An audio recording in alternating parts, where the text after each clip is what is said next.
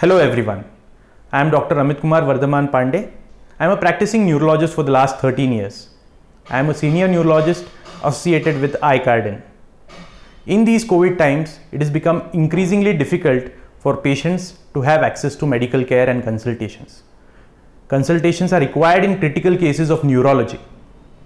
iCardin provides you a platform with all its services for the same. You can sit at your home and get expert opinions from a senior neurologist.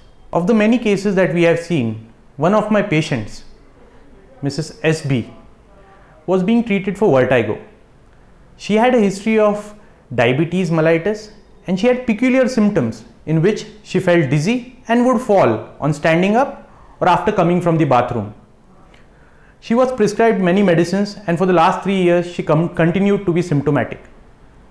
When she consulted us, after careful history taking, we analyzed the symptoms and thought that she was suffering from orthostatic hypotension.